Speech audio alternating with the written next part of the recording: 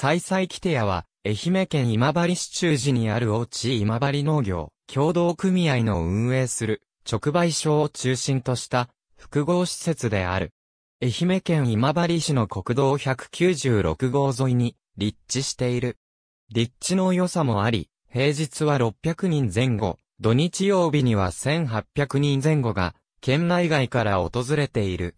再々キテ屋の店名は、再々と色々な野菜や果物が揃っているという、造語、あやなをかけて付けられている。直売所では、地元の野菜や米、果実、生肉のほか、地元の漁業協同組合で採れた、魚介類、地元農産物を活用したジュースやジャム等の加工品など様々な地元産品が販売されている。施設内には、地元食材を活用した食堂、あやな食堂やカフェ、サイゼカフェ、市民農園、研修施設などが設置されている。サイサイキテヤは2000年に有給施設を改装した小さな店と94人の出荷者でスタートしたが、1年目で約2億1000万円と予想以上の売り上げを記録。2002年には A コープを改装した新店舗に移転したが、2004年には出荷者が700人を超え、売上も約7億円に達し、すぐに売り場が手狭になった。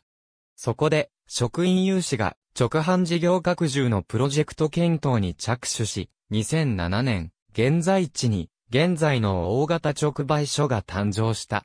直売所の売り場面積562坪は全国一の規模を持つ。2016年度の売上は21億80-100万円。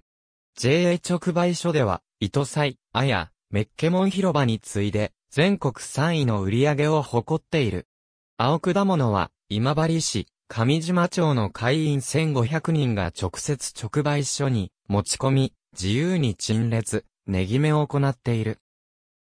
販売手数料は生鮮食品が売り上げの15%、加工品が18%となっており、運営経費に充てられている。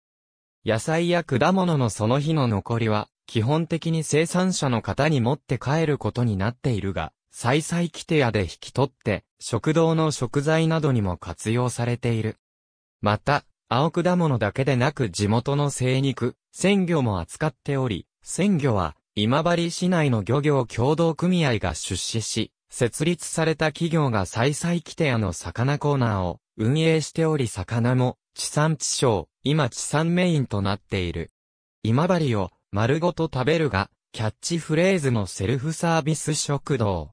仕入れは、基本的に、再々規定から優先し、野菜、米、肉、魚の多くが今地産となっている。地元農産物を活用したケーキやパンなどを販売するカフェ。カフェでは旬の野菜やフルーツをたくさん使ったケーキやパン、ジェラード、フレッシュジュースなどが販売されている。主に柑橘類、新品種の栽培、技術工場の場として設けられており、営農指導員を中心として栽培管理が細やかに行われている。2009年からは食だけでなく、地域特産品のタオル原料の綿を栽培し、市内の繊維、タオルメーカーと連携して、衣料品を生産する、コットンプロジェクトにも着手している。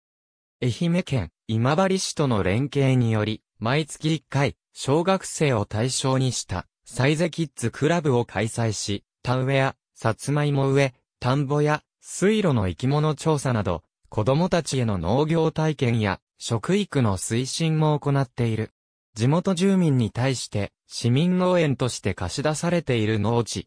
個々の目的に応じて初級、中級、上級といったコースが設けられている。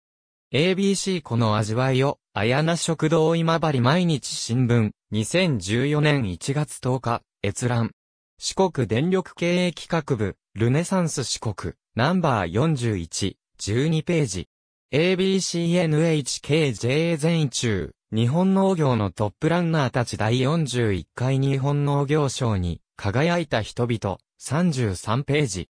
八重瀬町議会だより第27号八重瀬町、議会 ABJA 直売所売上高10億超39点、所得向上に企業9割本市調査日本農業新聞、2021年7月18日、閲覧。